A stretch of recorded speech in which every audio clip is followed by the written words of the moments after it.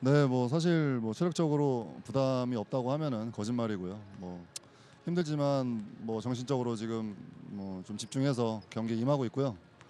어, 지금 후배들이 이제 세근이가 빠지면서 또 후배들이 또 많이 같이 뛰고 있는데 어, 후배들이 뒤에서 보고 있어서 더 어, 또 참고 열심히 좀 뛰는 것 같습니다. 글쎄요, 뭐 어, 개인적으로 높은 점수는 못 줄 것 같고요. 뭐 한 5, 60점 정도 줄 것 같은데요. 어, 버튼과 버튼 선수가 워낙에 이제 뭐 기술적으로나 뭐 어, weight적으로나 워낙에 physical적으로 좀 좋은 선수이기 때문에 좀 1대1로 막기는 정말 어, 힘들고요. 어, 하지만 뭐 오늘도 뭐 끝까지 한번 따라 열심히 좀 잘 따라다녀 볼 생각이고요. 예. 아무튼 오늘 뭐 잘 한번 막아보겠습니다.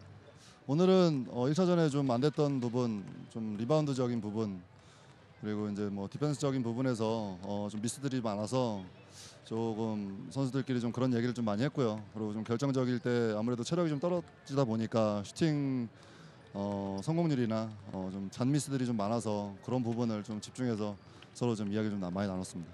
네, 뭐 이제 물러날 곳이 없습니다. 뭐 오늘 정말 모든 걸 걸어서 어, 오늘 한 경기에 모든 걸 다 쏟아 부을 예정이고요. 예, 정말 선수들이 어, 최선을 다해서 꼭 이기는 경기에서 저희 홈으로 가겠습니다.